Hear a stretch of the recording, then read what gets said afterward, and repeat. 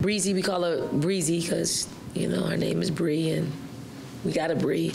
Um, she's a specialist. She's a defensive specialist. She's energy. She's she's effort. She is. Uh, she plays that way. Um, I think from an offense sta- standpoint, you know, she's coming. She's coming along. I've asked her to to just flow offensively. Don't you know, not be aggressive, but we're just trying to teach her how to play. And we're slowing her down offensively so she can see how it develops so she could be more impactful. Maybe not this week, maybe not next week, but later on down the line. So she's very coachable and she's done that.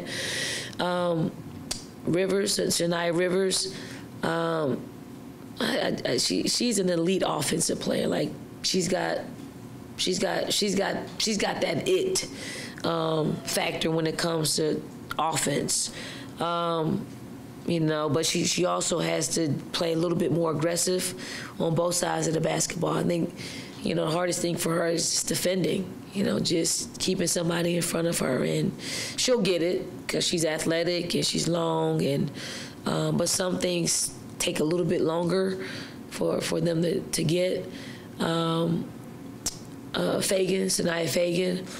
I mean, she's got her work cut out for her. She's playing. She's playing behind Aaliyah, Kamilla, Victoria, um, L.A. I mean, that's hard. I mean, they have years, years. Um, we just got to make sure she's ready for SEC play, and, and, and she's very coachable when it comes to that.